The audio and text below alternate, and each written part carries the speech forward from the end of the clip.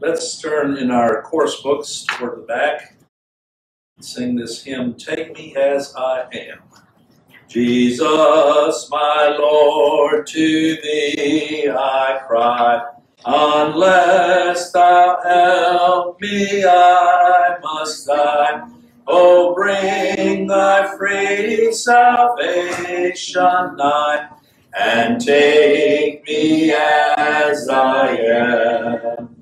And take me as I am. And take me as I am. My only plea, Christ died for me. Oh, take me as I am.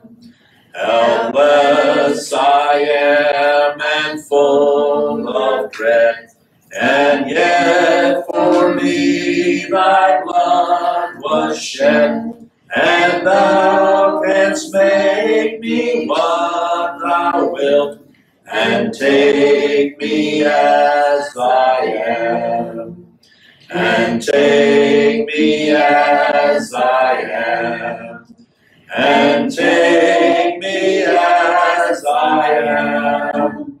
My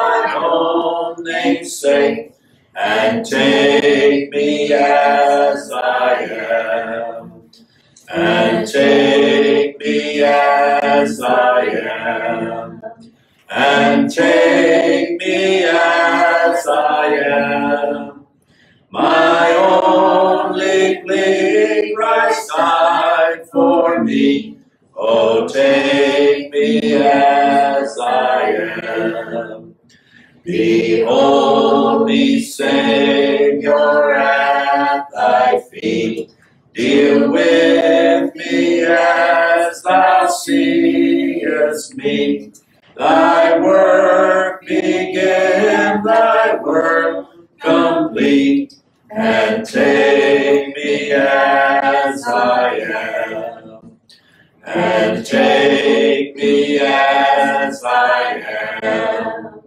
And take me as I am. Thy only plea, Christ died for me. Oh, take me as I am. It's a great hymn. Let's sing number 11 and number 12, and then we'll get to our study for the day. Under the blood of Jesus, safe in the shepherd's fold. Under the blood of Jesus, safe in the shepherd's fold. Under the blood of Jesus, safe while the ages roll. Safe though the worlds may crumble, safe though the skies grow dim. Under the blood of Jesus, I am secure in Him. Did you hear what Jesus said to me? They're all Your sins are pardoned and you are free. They're all taken away. They're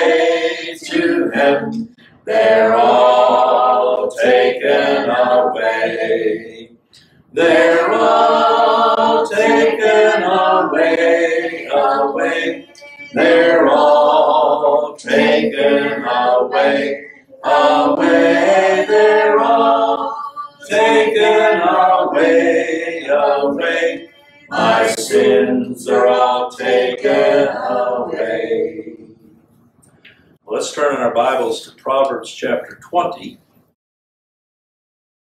I'm going to read from verse 13 down to verse 30. I want to speak with you about the difference between natural discernment and spiritual discernment. There is a natural discernment that the Lord has given his creatures. Might even relate it to instinct of what's right and wrong. Scriptures say that God has written his law on men's hearts to discern between good and evil. You might ask yourself, well, why is it then that that discernment isn't so evident? Well, there's a thing called sin. There's a thing called depravity that masks everything that God has put within us mind and soul and body in order to live in this world. It's called depravity. But there is a natural discernment which with which even natural minded people live and judge. And then there is spiritual discernment. Spiritual discernment is that which the Spirit of God gives, by which He directs the children of God. And I believe we have an example here in these instructions that are given in the book of Proverbs. It's for our good that these things are so. But without the Spirit of Christ, we are totally unable. That's what depravity is total inability, unable to follow the instruction given you. We fall because we're fallen creatures.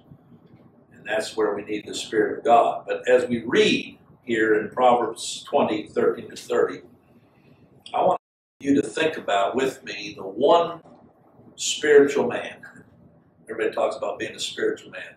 I want us to consider the one spiritual man that is Christ, who came in the flesh. And because of our inability, he came to work out what we read here for our good. He did it.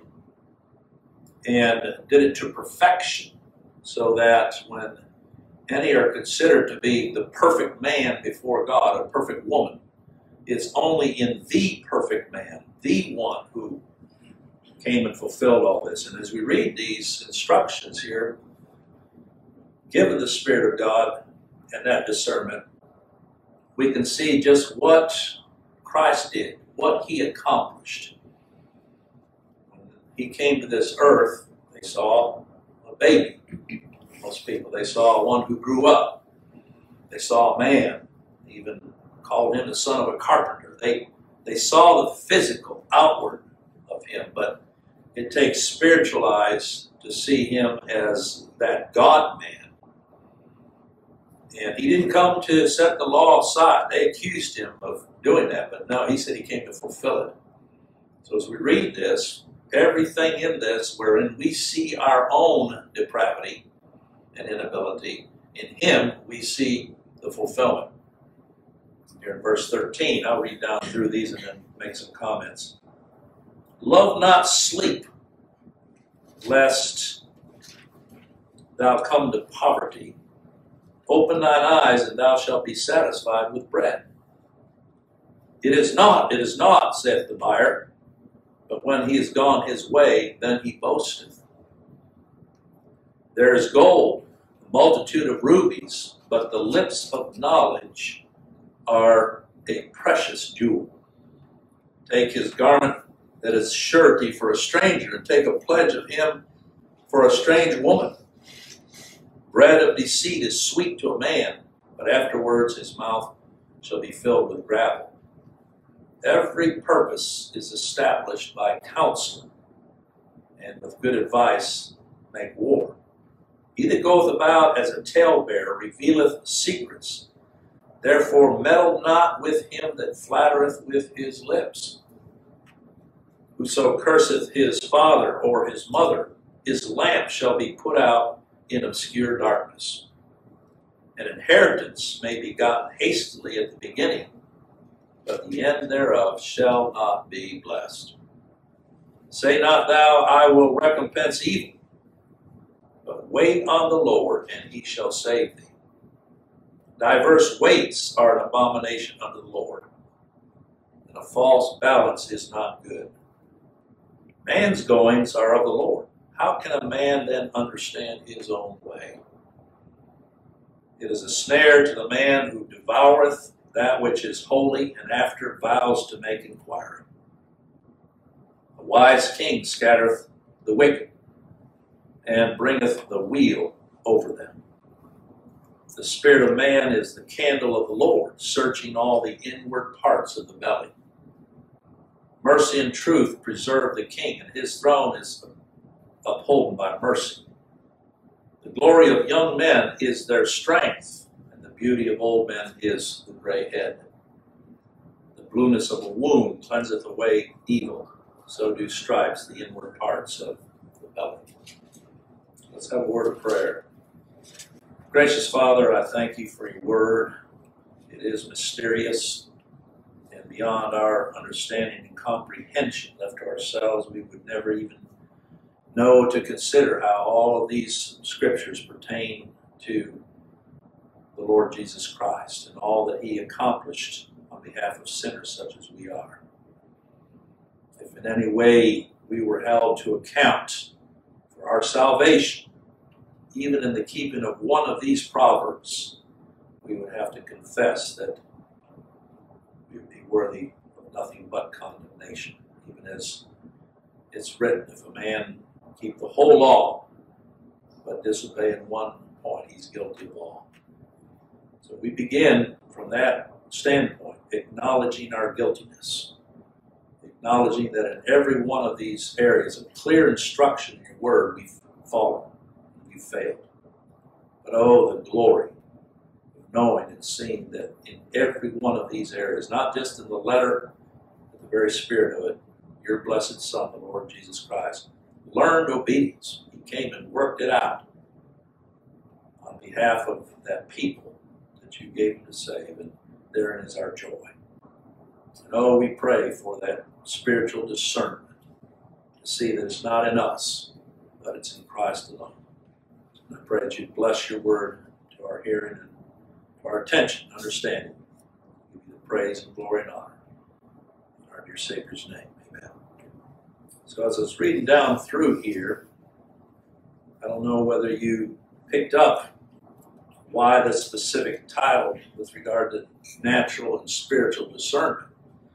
Where does discernment derive if it's not from the Lord?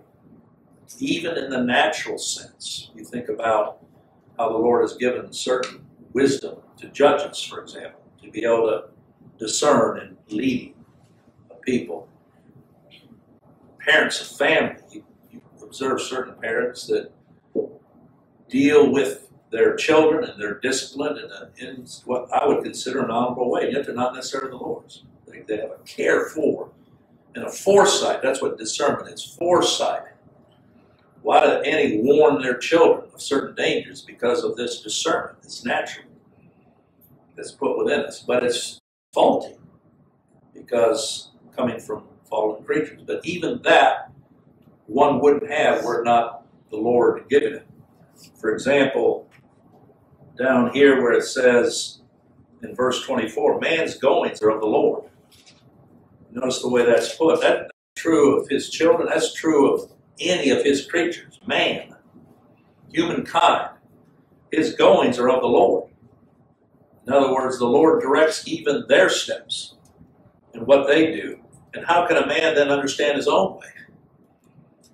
what I find interesting about all of these psychological self-help type things. They want people to figure out who they are and they want to from there build a blueprint or plan to, to work out some kind of success. Well, how can a man understand his own way? Jeremiah said, The heart is deceitful above all things. Who can know it? So it's just, in many ways, the blind trying to figure out life for themselves. But in it all, it's the Lord that directs the way. And then you look at verse 27 the spirit of man is the candle of the Lord. Believe this is talking about natural light that the Lord gives because it's referring to a candle. A candle you don't take and light a whole city with, but within each creature, even though depraved, the Lord does give some light, some natural light, to be able to think and discern and reason. Even that is of the Lord. But it's like the, the Lord said to the Pharisees if the light that be in you be darkness, how great is the darkness? It's just whatever light it is, it's natural light. There's not a soul that's ever going to discern God in how he's revealed himself even in these scriptures unless the Spirit of God, who is the author, gives the light of the knowledge of Christ that one. And therein is their hope. But the Spirit of man is the candle, Lord, searching all the inward parts of the belly. Unconverted sinners, and you can think back to the day before the Lord first began a work of grace in your heart, you reasoned, you pondered. I'm sure even those of us that sat under the preaching of the word, we were pricked in our minds concerning certain things we read. But without the Spirit of Christ, it's no better than someone out there in a remote place that's never heard the Bible read. The Spirit of man is the candle of the Lord, but it's still the Lord doing all things, directing all of his creatures. Solomon wrote in Ecclesiastes that God has put eternity in the heart of man. I don't care if the man or woman says they're an atheist. They still, by saying that, they're denying God. That's what they're doing. They've taken a stand against the God that they will not have to rule over them. But they still have to deal with it. They say an atheist or I'm an evolution. Well, guess what? You can't escape the fact that you're God's creature and He's made you. And whatever hardening he leaves you in, he's just in condemning you. Because even the Lord gives them these thoughts. But the problem is they try to run the other way, cover it up. So in the instructions that we have here, we see the discernment that the Lord gives. And as I said, particularly how our Lord Jesus Christ would have exercised true discernment, true wisdom, true judgment. That word judgment means to discern. Just like with Solomon when he was faced, his first big challenge was with the woman that brought that child, or took a child, because hers she rolled over on in bed and smothered it. So now she took her sister's child and acted as if it was her own. And what, what did Solomon do? What was the discernment? He prayed for wisdom. What was the discernment God gave as a king? He said, Bring a sword. I'll settle this. Let's cut the baby in half.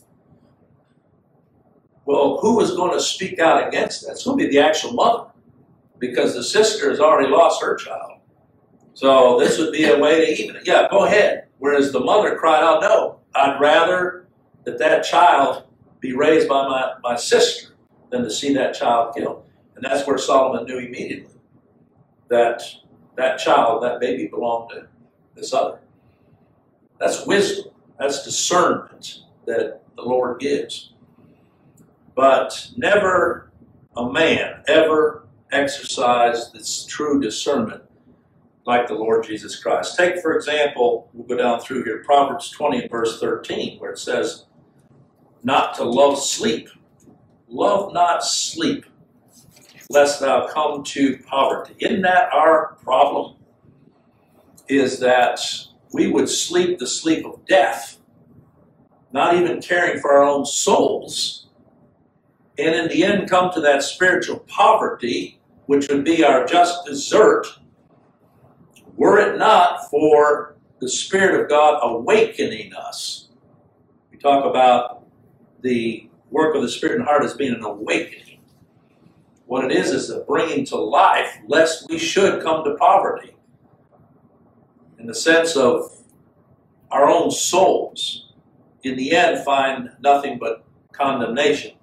When it says, Open thine eyes, and thou shalt be satisfied with bread.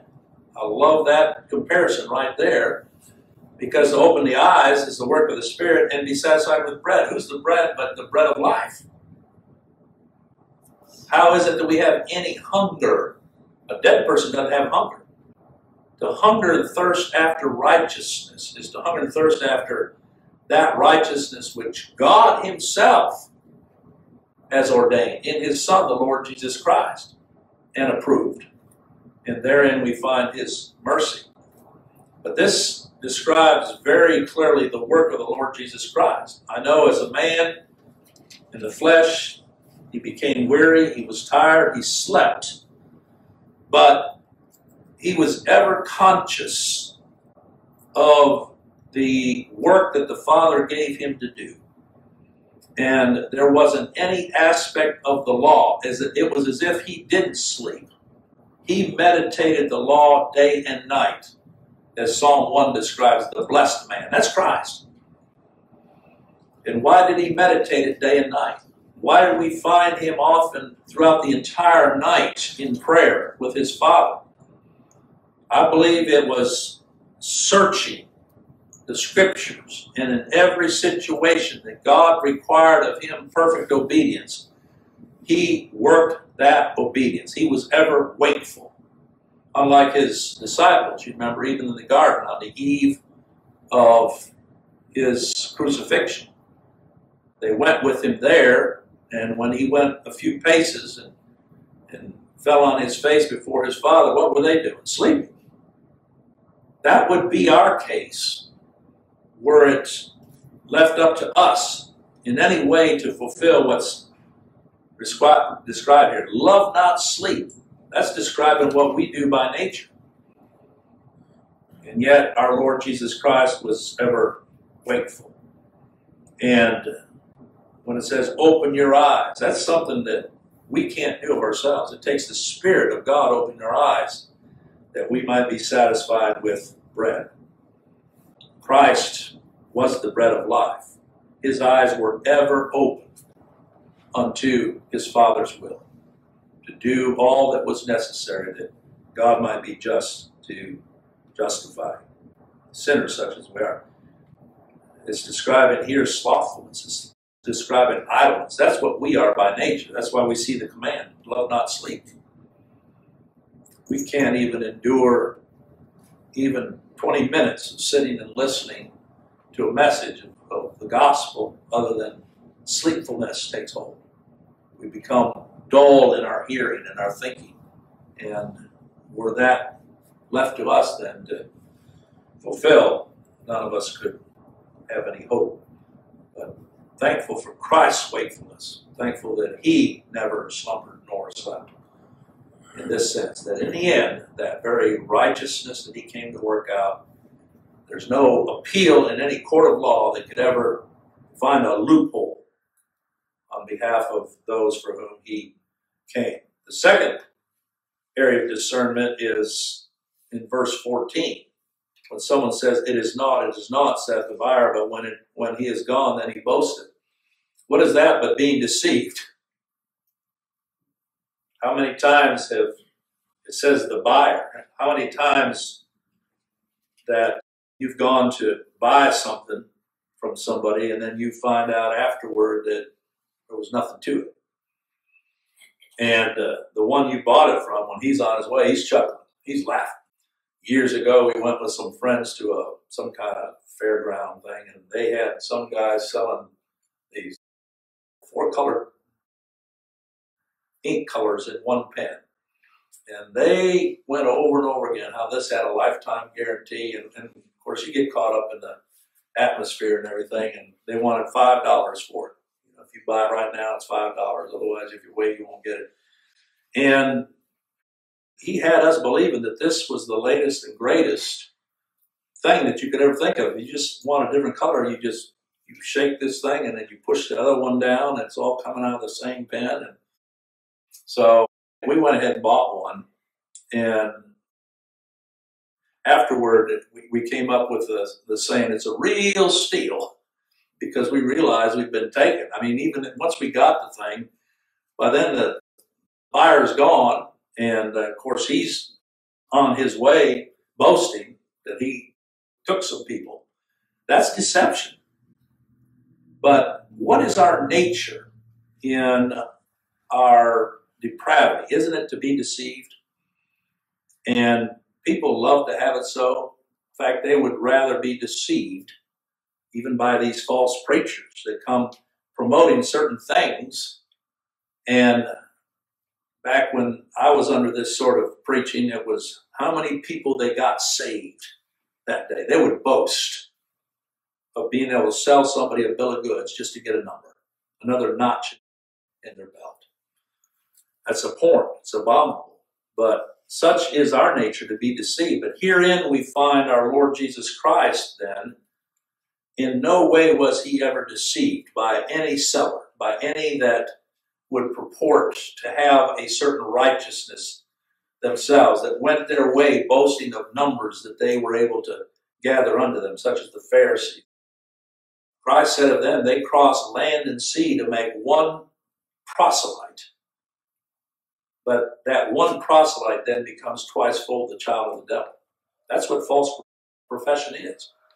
If you can get somebody to walk an aisle and say a prayer as a preacher or as a so called witness, an evangelist, then you have doubly blinded that person. First of all, they've never seen their own sin.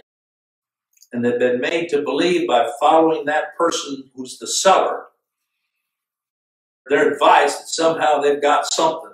So they're blind to their own depravity, but secondly, they're blind to whatever thought of righteousness they might need other than Christ. They find a, a self assurance, if you will, in that decision.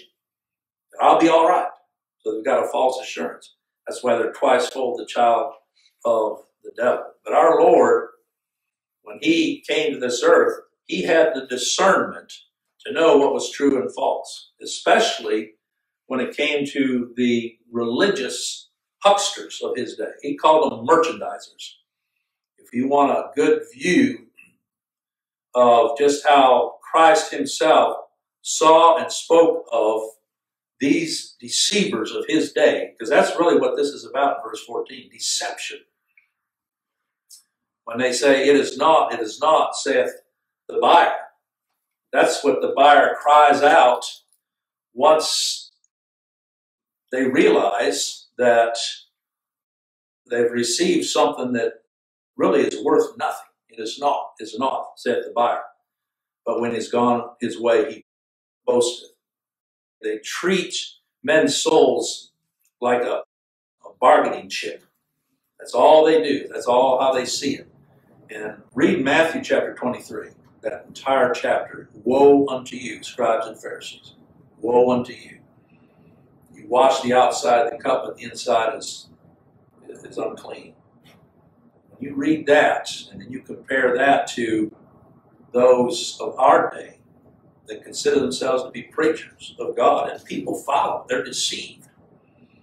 There's bargaining going on, there's buying and selling with regard to holy things, but in the end, not to the satisfaction of God the Father. Our Lord Jesus Christ is the one that lived his life in this discernment, knowing truly the difference between good and evil. And what men considered good, he called evil. What men considered evil, indeed, he declared to be good. What did they consider to be evil? They considered him to be evil. They, they called him every name in the book. They spoke against that one righteousness that he came and earned and established that God approved. But many others continue their, their buying and selling like they do in religion today. There's a lot of money that exchanges hands today in the name of Christianity. They've made it a, just like in Christ's day, the money changers in the temple. People, soul would bring a lamb as was required, and they would stand at the door and say, Oh, well, that lamb won't do. You need to buy one of ours. And so they take that lamb and they give them at a cost another to go offer. And then what did they do with that lamb they just took away? They go back and put it in the fold, and the next guy comes along, well, here's a good lamb for you, this will work. That's what men do. They will deceive sinners with their bargaining, And yet it is evil. But thirdly, down here in verse 15, it says, There is gold and multitude of rubies, but the lips of knowledge are a precious jewel. Here we see a picture of stock of gold and of rubies. And when people look at that, again, the physical view of these things, they're impressed. That's why people are taken up with these modern places of worship. And the more ornate that it can be, the more impressed people are. And they're attracted and drawn to these things. That would be our case. The physical. Just like when Christ with his disciples. It's interesting. There he is as the fulfillment of the temple of God. And all of that gold and silver and precious stones that were built, used to build that, represented Christ in the flesh, Christ's attributes as the God man in the flesh. And here the disciples are walking with Christ one day, observing the building, the adding on to the temple by Herod. This would have been the second temple that was rebuilt after the first had been destroyed by Babylon. And they were, in essence, trying to impress our Lord with the beauty of these precious stones, not seeing that every one of those represented him. That's why he said to them, The day is coming when not one stone will remain upon another. To turn their eyes off of the physical to him, the spiritual. Destroy this temple, in three days I'll build it again. That was a statement that he made that the world of his day didn't understand. They thought he was going to destroy that physical temple. Well, he would, but it would be in AD 70 many years later. But he was speaking, John says, of his body, his death. So which is more precious, the gold and the silver, precious stone, or who it represents? That's why it says here, the lips of knowledge are a precious jewel. This has to do with whose lips, who has knowledge. It has to do with the Lord Jesus Christ himself. And his word being precious, the lips of knowledge. Whatever comes out of these lips is tainted. But whatever the Lord speaks, therein is a precious jewel. So when we pray, before we begin reading this word, or as we read it, that the Lord would be pleased to give us a word. We're recognizing that that word of Christ is the most vital thing. We can sit and learn all day long and study these scriptures and go away smarter if we think so. I learned some Proverbs today, and boy, I'm going to start working on some of that. Nope. If that's all we get coming out of this, then we have not heard the word. We're yet deaf to the one speaking. Now, the lips of knowledge are a precious jewel. The lips of Christ are a precious jewel. Give me Christ or I die. Some can come and say, oh boy, you get into the Word and you can excavate, you, you get a lot of gold and silver, precious stones out of it. People are people are fascinated with the Word for the Word's sake, but they've never heard the voice of the one that this Word declares, and that's the Lord Jesus Christ. That is precious. That is a precious jewel. All the other learning and everything we do is just, it's for naught unless Christ himself be willing to speak. So you can see, again, the discernment that the Spirit gives, that even in reading these scriptures, perceiving it not just as Christ's word, but Christ himself. Wherever you read the word in Scripture, put the name of Christ there because that is how God is pleased to reveal himself to sinners. It's through the voice of Christ. Christ, the Word. When it says in the beginning was the Word, in the beginning was Christ. Just automatically put his name there. And you can never go wrong. And oh, the joy. Talk about a precious jewel that's described here. When he opens your eyes to behold Christ, there's nothing else that's going to match to it. People come along with their little interpretations. I was clicking on the internet the other day and came across some, some quotes and sayings. And when you first start reading it, they're taking the same scripture that we look at and they're trying to draw out of it some kind of gold or some kind of silver, something precious for your life that today you can meditate on. It was a med- one little scripture meditation for each day. And it all was a way of trying to bolster up the one who was reading it, to find some kind of help to get them through your day. But what was missing had nothing to do with Christ. Many times when I see, and some friends of yours, acquaintances, will send you scriptures every once in a while that impress them.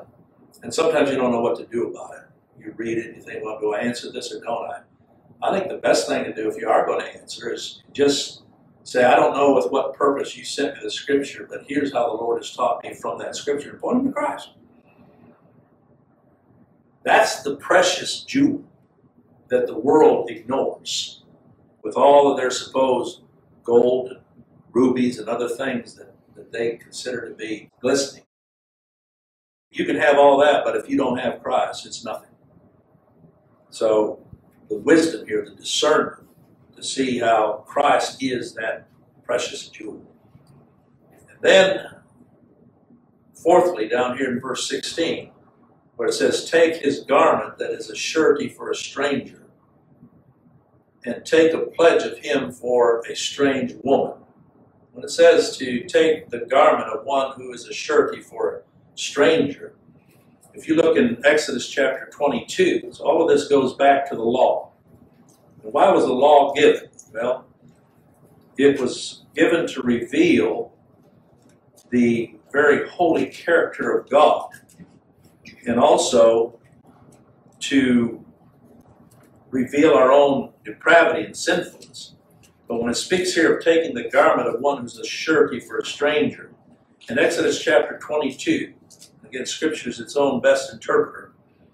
Here in verse 26 and 27, it says, If thou at all take thy neighbor's raiment to pledge, thou shalt deliver it unto him by that the sun goeth down.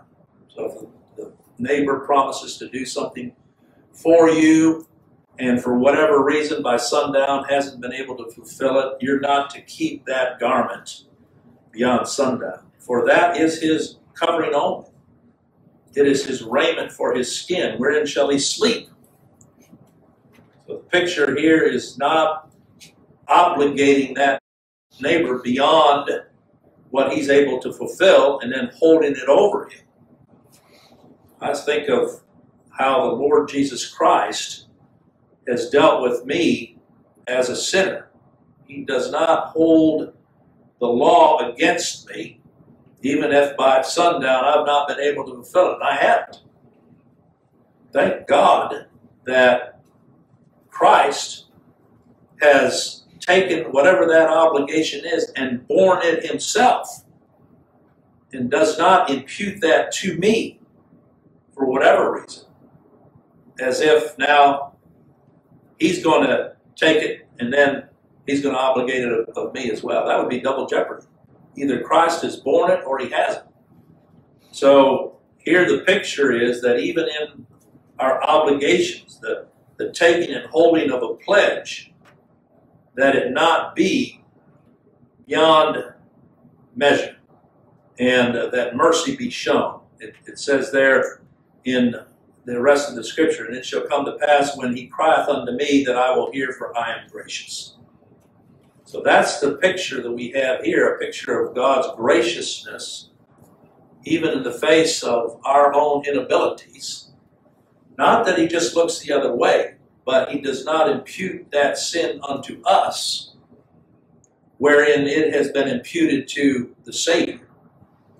Once the Savior has taken that obligation on Himself, then that obligation no longer belongs to the one under the obligation.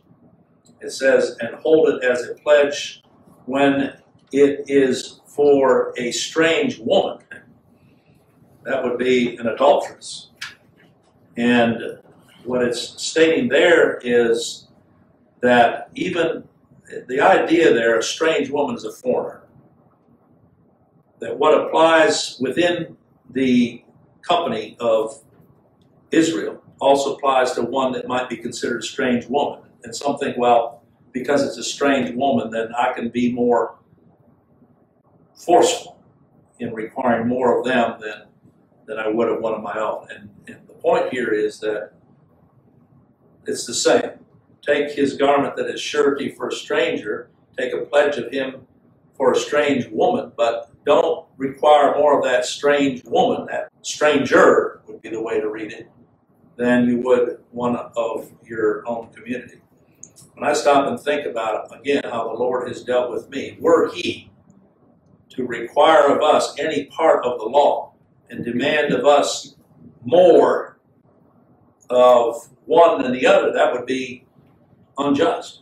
However, the Lord is pleased to deal, and you can see the whole purpose of it is that when that person, whatever you've taken from them, gets to a point where they realize, I cannot fulfill this obligation, and they cry out, the Lord says, Be gracious. Be gracious. That's not in our nature to do. We tend to like to have people under our thumb. And so if they owe me something, boy, you're going to pay. And I stop and think, well, what if the Lord should deal with me in that matter? How, how could I respond if in any way He held me accountable to any part of His law, which I was not able to fulfill? Again, you come back to what the scriptures state. If a man obey the entire law and disobey in one point, he's guilty of all. So, how the Lord dealt with me? Again, here we see the discernment of God. We see the spiritual discernment that He gives to see that what Christ did, He came and took on Himself that which I owed. And He fulfilled it entirely before the Father and does not then in any way obligate me. This could be seen in the sense of Jew or Gentile. It says, take his garment uh, that is surety for a stranger. That's who we are, strangers alienated from the life of God. And for a strange woman, a foreigner, that I would be held to account in a uh, more strict manner than somebody else. Now, if that were the case, who could stand? If the Lord should mark iniquity, who should stand? But here the Lord gives us, here's that spiritual discernment, seeing how He is taken and become that surety Himself. He is that surety that answers to every demand of God's holy law. That if God should require in any way that of me, I would be undone. And so, once again, we can see how the Lord Jesus Christ, rather than requiring of me something as the surety, he himself, God has sent to be that surety. And uh, the glorious good news is when the Spirit of God gives you eyes to see and behold the bread, be satisfied with the bread to see that Christ is that surety, and therefore I am safe.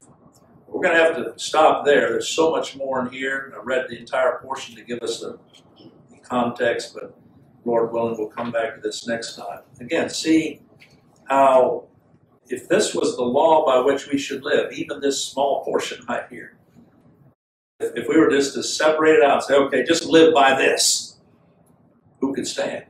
But sadly, that's how a lot of preachers are telling people to do. Just take a portion and, and work on that. Let's just work on staying awake. How's that working for you? We can make all the re- resolutions we want to, but it's for naught because we know this flesh. It cannot be anything in this flesh that's going to bring satisfaction to holy God. I thank God. Again, go back and read this and see how the Lord Jesus Christ answered every one of these demands. God's law and justice. That God might be just and justified, declared righteous, sinners such as we are. That's when I read this, I, I remember a day when I'd read these types of scriptures with, with distress. Because I'm I'm thinking, you know, this is far too great for me to bear, but I guess I got to do it. So here we are. Until the Lord, by His grace, shows you, know, it's, it's not there for you to do it. In fact, that's why the law entered in, that every mouth might be stopped, the whole world found guilty before Him. That what? We might, just like the one that had to give a garment for a surety, at the end of the day, has to cry out for mercy. And the Lord says, I'm gracious. He gives the cry. He brings us to the end of ourselves and gives us the cry and then grants the grace because of Christ. I hope that's helpful. All right, we'll meet back here in a little bit and pray for the Lord's blessing on what we've heard.